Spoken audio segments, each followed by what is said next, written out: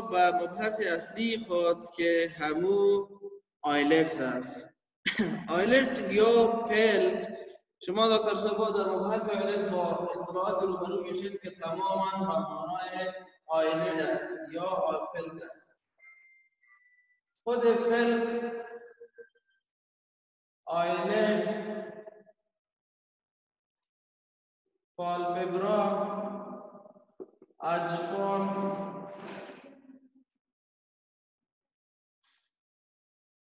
اجفان بلیفارون تمام این اصطلاحات را که می‌بینید دکتر اگر پلک بود اگایلت بود پالپبرا بود جفن یک اجفان مجموعیش از دکتر صاحب بلیفارون تماما به معنای خود پلک است. آیلت ها آیلت ها یا خود اجفان عبارت از یک حجاب یا پرده جلدی ازلی لیفی مخاطی و چی معنا دکتر صاحب که یک پرده ای است که از این چهار طبقات ساخته شده. از جل ازله نسج لیفی و بالاخره مخاط که طبقه داخلی را می پوشانه از نقطه نظر آناتومی آیلت ها دکتر صاحبا دو قسم دو کنار دو کنار دارن که یک کنارش آزاد است که به طرف خود چشم قرار داره و یک کنار ملحق است که در اولوی همراه آبرو تمادی داره و در سفلی همراه خود جلد رخسار. دو نهایت داره یک نهایت اونسی و یک نهایت وحشی. دو وجه داره که یک طرف داخل است که توسط مخاط یا کانجنکتیوا پوشانده شده و یکی هم طرف بیرون است که توسط جلد پوشانده شده. فاصله بین همین دو آیلت دو کنار آزاد آیلت که اینجا شما می‌بینید این به نام فرج جفنی یا پالپبرال فشور یاد میشه.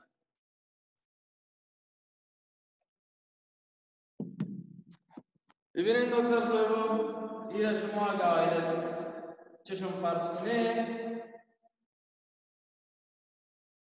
این فاصله بین دو آیله که اینجا شما می‌بینید این فاصله که از همونجا چشم معلوم میشه. بین این دو آیله این فاصله را که شما می‌بینید این به نام فرجه جفنی یا یا پالپبرال فشر یاد میشه. ما گفتیم که خود آیله دو نهایت داره. یک نهایت اونسی و یک نهایت وحشی. که هر دو نهایتش در هر دو نهایت هر دو آیلت با هم چسبیدن. هم در وحشی و هم در انسی. که این با ساحه یکجا شدن هر دو آیلت ساحه اتصاف هر دو آیلت به نام کانتوس یاد میشه.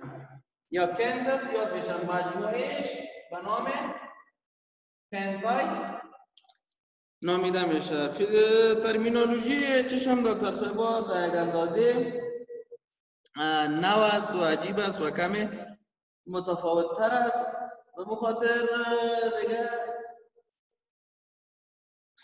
کوشش می‌کنیم که کم کم همراهش عادت کنیم. کانتوس ها دکتر صاحبا این کانتوسی وحشی و کانتوسی اونسی ساحه که هر دو آیلت با هم یک جای میشه. فاصله بین هر دو آیلت فشار نامیده میشه. هر دکتر صاحبا با دو قسمت عمده تقسیم میشه. پنج بر شش قسمت وحشیش که از این شروع میشه دکتر صاحبا پنج بر شش قسمت وحشی. این قسمت چون سیریا دارن چون مجه ها دارن و تماما مجه های قسمت ها را پوشانده به نام سیلیری پارت یاد میشه. چون مژه داره که از اینجا بسیار باسانی شما دیده می‌تونین. اما یک بر شش قسمت اونسیش که این طرف موقعیت داره. ببینید دکتر صاحب از اینجا. و این طرف که مژه داره به نام پالپبرال پارت سیلری پارت و این قسمتی که از اینجا شروع میشه و به طرف اونسی قرار داره. اینجا از دکتر صاحب که هیچ مژه نداره. این به نام یک بر شش قسمت روسی را می پوشانه این به نام لکریمال پارت یاد میشه. چرا دکتر صاحب اینجا ساختمان های لکریمال وجود داره. دو تا سوراخ کوچک به نام پنکتوم پنکتوم علمی پنکتوم از هر دویش کانالیکول ها میاین و اینجا با هم یک جای میشه بالاخره کیسه اشکیه و بالاخره به طرف بیرون. اشکی که اینجا تولید میشه توسط لکریمال گلند میاد داخل چشم چشم را مرتوب می‌سازه وقتی چشم را مرتوب ساخت. بالاخره باید از چشم خارج ساخته شود. وقتی از چشم توسط همین سیستم هایی که ما گفتیم خارج میشه و این سیستم ها به نام لگریمن درینیج سیستم یاد میشه چون این یک بخشش قسمت کنسی همین قسمت های از لکریمال سیستم را دارن. به همین خاطر این به نام لکریمال پارت یاد میشه. کنار آزاد آیله دو قسمت داره. پنج بخشش قسمت وحشیش سیلری پارت که میجه داره و یک بخشش ورسیش لکریمال پارت که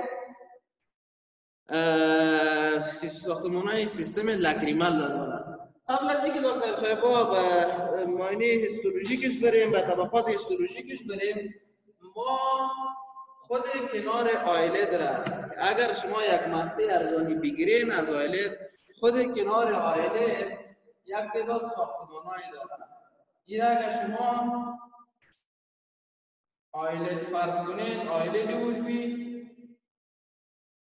و آیلت سفلی. که وقتی با هم میاین و میچسبن در این قسمت یک تعداد ساختمان های دارد قسمت خارجیش توسط جلد ساخته شده دکتر صاحبا که میاید به این طرف در کنار آزاد آیلت. هر دو آیلت در کنار آزادش خافی کدامیش مدور است. کدام زاویه نداره مدور است و اینجا مجه ها دوی لاسه قطار مجه ها قرار دارن که به طرف بیرون متوجه هستن اما حافه خلفیش زاویه داره و نقطه است که با حافه خلفی پلک سفلی وقتی با هم یک جای میشن یک air tight junction می‌سازن. یک junction می‌سازه که هیچ چیز از داخل حتی هوا هم داخل از او شده نمی‌تونه وقتی ما همراه بعض مواد مضر مثلا یک ماده کیمیاوی تیزاب یا القلی یا هر چیزی که داخل چشم میشه وقتی داخل چشم شد ما چشم خود وقتی بسته کنیم همین junction که حتی air tight از هوا را هم اجازه نمیده مایعات را خود بیخی اجازه نمیده او بسته میشه و هیچ چیزی را داخل چشم اجازه نمیده. اینجا اگه ببینیم دکتر صاحبا کمی خلفتر از این وقتی به طرف خلف میاییم از این طرف جلد میایم و از این طرف هم conjunctiva این طرف conjunctiva از غشای مخاطی و از این طرف هم جلد ساحه اتصال بین جلد و بین conjunctiva از این طرف طبعا غشای مخاطی و بالاخره جلد بالاخره در یک ساحه این هر دو با هم جلد تبدیل میشه به conjunctiva ساحه اتصالشان به نام grey line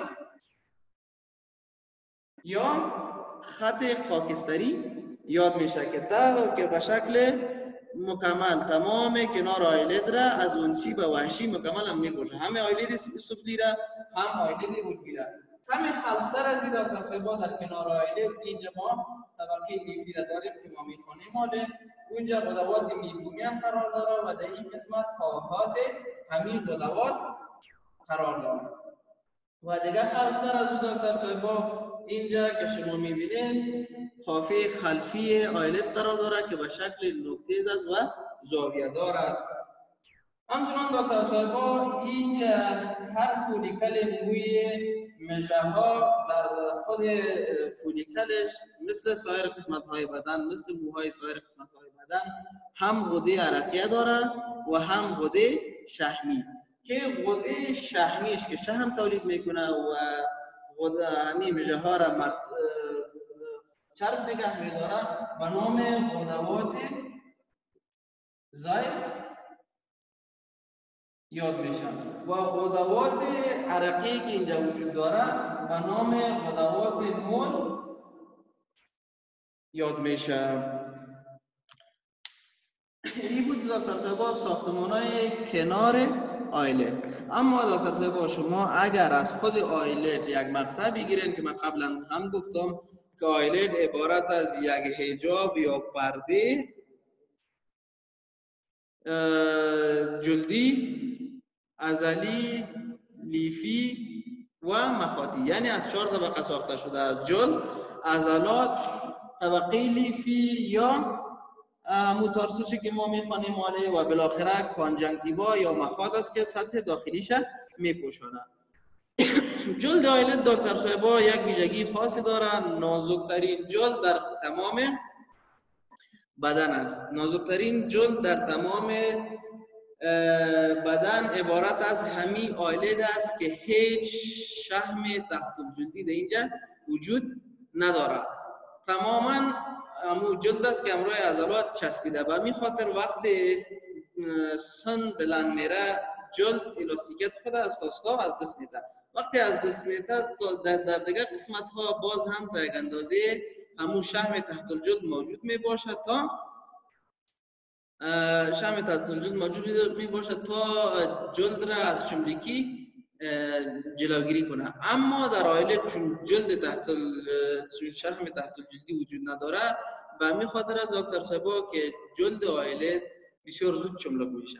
وقتی سن بلند میره اولین جلدی که چملکی از وجود میایه و الاستیکت خود از دست میده همین جلد آیله است نازکترین جلد است در تمام قسمت های بدن. ترین جلد در کجا موقعیت داره دکتر صاحبا کف کروی کف پا. کف پا و کف دست. مو مربوط میشه به با occupation یا همون شغل هر کسی که از دستا زیاد استفاده می‌کنه یا از پاها خب هر صورت دکتر صاحب خوب از یگان سوال داشته باشیم چون صنف را کمی live نگه میداریم. ما اینجا احساس کنیم که بالاخره در داخل یک صنف هستیم. خب هر صورتش دکتر صاحبا طبقه دومی که اینجا وجود داره عبارت از طبقه eyelid. شما در slide دیده می‌تونید عبارت از طبقه ازلی است. طبقه ازلی دکتر صاحبا خود عضلات آیلت که اینجا شما می‌بینید اول جلد است در سلاید. و دوم طبقه ازلی است. خود عضلات آیلت سه عضله است. که این سه عضلات هر کدامش در وظیفه آیلت بسیار مهم هستند. اینجا ببینید اناتومیش فیزیولوژیش یاد بگیرین دکتر صاحبا که اگر این نفهمیم باز مبحث بعدی ما که مربوط تماما مربوط عضلات میشه اونا را نمی‌فهمیم. عضله اول اوربیکولارس اوکولی از دکتر صاحبا یک عضله دیگه هم داریم در وجه به نام اوربیکولارس. کسی به یادش هست؟ اوربیکولارس؟ اورس. و دور و دور دهن قرار داره اوربیکولارس اورس این اوربیکولارس اوکولی از صاحبا که با دور دور چشم به شکل حلقوی قرار داره الیافش به شکل حلقوی در دور دور چشم قرار دارن. که اینجا شما دیده می‌تونین دکتر صاحب به دور دور چشم را میپوشانن. که این ازله از سه قسمت عمده ساخته شده. یک قسمتش پارس اوربیتالس یا اوربیتال پارت است پالپبرال پارت است و بالاخره هارنر مسئله است که یک یک تشریح می‌کنیم. اوربیتال پارت دکتر صاحب قسمت محیطیش است که همراه اوزام اوربیت در این قسمت ها التصاق داره. همراه اوزام اوربیت بالای اوزام اوربیت ارتکاز می‌کنن. پالپبرال پارت عبارت از قسمت هایش است که در خود زخامت آیلد ها قرار داره. در خود زخامت آیلد مثل که اینجا می‌بینید در این قسمت قرار داره به شکل حلقوی که هر دوی اینا در بسته کردن چشم رول مهم داره. وقتی اینا تقلص می‌کنن الیاف کش میشن. وقتی کش شوند چشم بسته میشه. palpebral part ش چشم را در حالت عادی وقتی simple closure ما می‌کنیم چشم بسته می‌کنیم. در این حالت palpebral part ش تقلص می‌کنه. اما ما وقتی می‌خوایم force closure کنیم چشم خود به شدت بسته کنیم.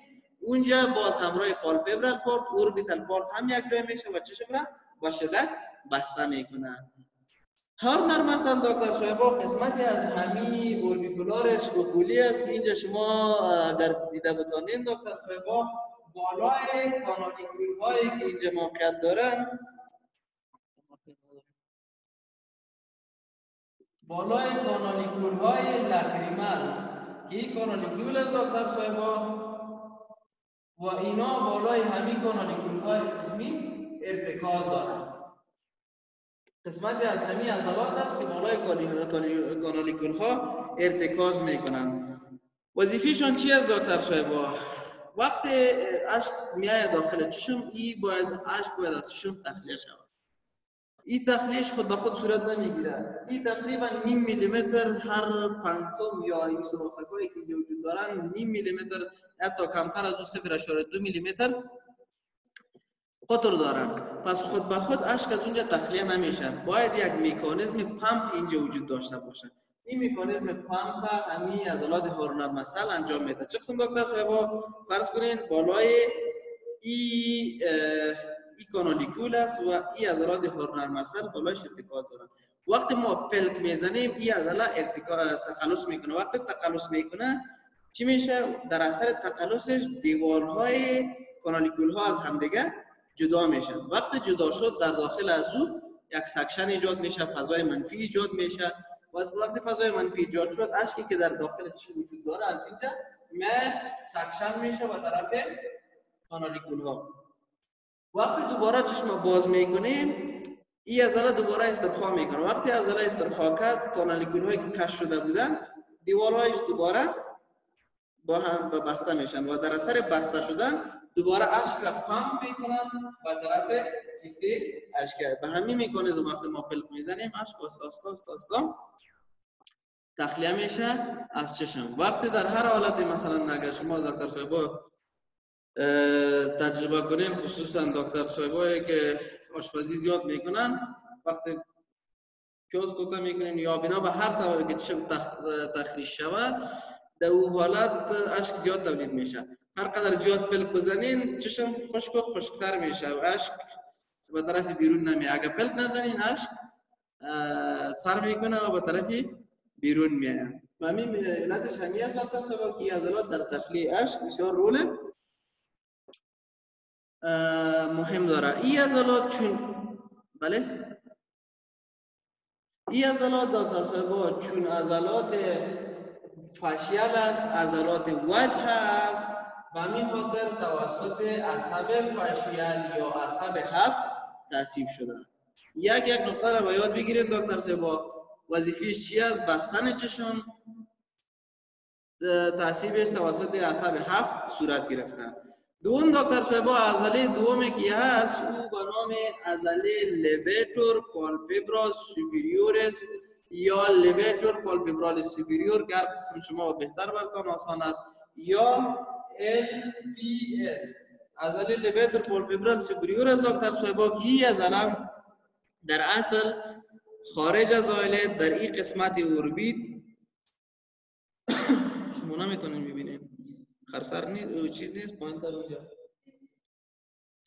در این قسمت منشا می‌گیره از خلف اوربیت از اینجا منشا می‌گیره میایه به طرف قدام و وقتی به طرف قدام آمد میای در خود زخامت آیلت جای می‌گیره اینجا دکتر صاحب که در صنف هستن اونا دیده نمی‌تونن از اینجا منشأ می‌گیره دکتر میای به طرف قدام و در خود eyelid یا پن در ضخامت eyelid قرار می‌گیره اصلا از خلف میای ببینید دکتر صاحب که اگر از اینجا ما تصویر کنم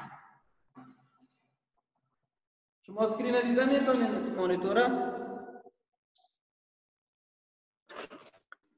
بله می‌بینید بله ببینیم می‌تونیم ببینید دکتر فیبا از خلف منشأ می‌گیره میه به طرف قدام وقتی به طرف قدام آمد در خود زخامت آیلت قرار می‌گیره که وقتی اینجا از طرف خلف آمد این یک مقطع از آیلت از دکتر صاحبا میایه و بالای قسمت فیبروزی که طبقه سوم است بالای این قسمت ارتکاز می‌کنه و همچنین یک الیافش یک تعداد میایه بالای جلد هم ارتکاز می‌کنن وقتی بالای این ارتکاز کرد وقتی تقلص می‌کنن چی صورت می‌گیره وقتی تقلص می‌کنه ای عضله eyelid به طرف بالا حرکت می‌کنه. چشم را باز می‌کنه. به همین خاطر ای عضله به نام levator palpebrae superioris یا بلند کننده عضله بلند کننده پلک علوی نامیده میشه. وظیفهش باید چی باشه دکتر صاحبا meeting will end in 10 minutes.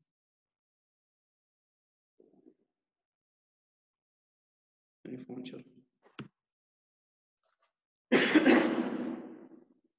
پس دکتر صاحبا وظیفش باز نگه داشتن چشم است باز کردن چشم است همین است که به طرف بالا حرکت می‌کنه تا چشم باز شود که تاثیر از این توسط اکولوموتور یا عصب سوم صورت می‌گیرد. توسط عصب سوم صورت می‌گیره. عضله سومی که در خود آیلت قرار داره دکتر صاحبا او عضله به نام مولر مثلیات میشه که او را هم بهتر است از اونجا تشریح کنم براتون. این عضلات مولر از بطن همین عضله لبیتور پالپبرال سوپریور از این قسمت. وقتی از خلف میایه به طرف کدام؟ وقتی به طرف کدام آمد از قسمت بطنی اینا از این قسمت ای عضلات منشأ می‌گیره یا عضلاتش منشأ می‌گیرن و اینا هم میاین در بالای تارسوس اتکاز می‌کنن وظیفه اینا دکتر صاحبا چون این عضلات توسط اعصاب سمپاتیک تعصیب شدن وظیفهش چی است؟ که اینا به شکل خودکار به شکل اتونومی کمک می‌کنه همراه عضله levator palpebral superior. چون او عضله مخطط است عضله ارادی است. تمام روز اگر کار کنه از صبح ما بیدار میشیم تا شام تا یک اندازه fatigue چون از تمام عضلات اسکلیتی fatigue را تجربه, تجربه می‌کنن خسته میشن بعد از مدت و وقت خسته شدن. چی میشه دکتر صاحب پلک اولوی را دیگه بالا نگه داشته نمیشه نمی‌تونن به طرف پایین سقوط می‌کنن. اما این عضلات چون توسط سیستم سمپاتیک تاسیب شده به شکل ناخودآگاه همراه کمک می‌کنه و تا یک اندازه به شکل کمکی از چشم را باز نگه میداره و پلک اولوی را به طرف بالا کش می‌کنه ای بود سی از الان دکتر صاحب اوربیکولار است توسط عصب هفت ال بی اس توسط عصب سه و مولر مثل توسط عصب سمپاتیک تقسیم می‌شد. قسمت سوم دکتر صاحب طبقه سوم که شما از آینه مقطع بگیرید عبارت است تارسوس از دکتر صاحبا که یک ساختمان فایبروزی شکل است اگر از اینجا ببینید قسم یک ساختمان داره به شکل چه قسم ببینید به شکل ماکو مانند ماکو را خودش واسه یک قسم یک شکل. اگر دوست شما با هم یک جای کنیم قسم یک ساختمان فایبروزی است. همین قسمت وقتی شما آیلد خود جسم می‌گیرین همین قسمت سخت را که شما احساس می‌کنید که خود به خود آیلت شکل میده به خود آیلت قوام میده. این عبارت از همین تارسوس از آکر که در خود زخامتش ساختمان بسیار مهمه که ما در هر مبحثی باز بعدا او را به خانش می‌گیریم. او عبارت از غدوات میبومین است که در خود زخامت اگر اینجا شما ببینین. این تارسوس از آکر و در داخل ساختمان های وجود داره که اینا قدوات میبومیان هستند که اینا شهم تولید می‌کنن. شما می‌بینید. اینا شهم تولید می‌کنن و اینا وقت شهم تولید کردن به طرف داخل میرن این شهم و در ترکیب عشق سهم می‌گیرن. خود عشق دکتر صاحبا وقتی مثلا فرض کنید سطح چشم است. سطح چشم عشق میپوشانم تا مرتوب نگه اشک از سه طبقه ساخته شده در مبحث خودش با تفصیل ما می‌خوانیم که اولش مخاط یا میوکس است. دوم قسمت اعظمش که اینجا شما می‌بینید این از آب ساخته شده. قسمت نهاییش طبقه بسیار نازک از شهم است که او اجازه نمیده آب باسانی تبخیر شود و چشم خشک شود. همین قسمت سطحیش که از شهم ساخته شده این توسط این غدوات میبومیان ساخته میشه و اجازه نمیده اشک تبخیر شود. و می خاطر زیاد مهم است. و ایران باید داشته باشین دکتر صاحب. و آیلت غدوات در خود زخامت کانجنکتیوا غدوات زیاد است اما مهمترین غدوات همین سه تا بودن یک غده میبومیان دو غده دیگه که قبلا ما گفتیم مول و زایس که در آفات غدوات باز از یادتان نره که باز اونجا می‌خوانیم. دیگه دکتر صاحبا قسمت آخریش که طبقه داخلی است سطح داخلی هر eyelid را میپوشاند تمام eyelid را به شکل مکمل سطح داخلیش میپوشاند. او عبارت از غشای مخاطی یا همون conjunctiva یا منضمه است که سطح چشم را میپوشانه باز میره در flex انعکاس می‌کنه conjunctiva eyelid را هم سطح داخلیش میپوشانه و بالاخره می حتی تا grey line و در قسمت grey line تمام میشه. ای بود دکتر صاحبا از نظر هیستولوژیک طبقات eyelid چشم را اون روز خواندم دکتر صاحبا آمدیم به blood supply آیلت در بلد سپلای دکتر صاحبا یک چیزی را کاش که همه در سنف می بودین این را ما تشریح می کردیم. باز از یادتان نمی‌رفت ما براتان یک چیزی را رسم می‌کنم و می‌خوایم تا اندازه بالای از او همه ما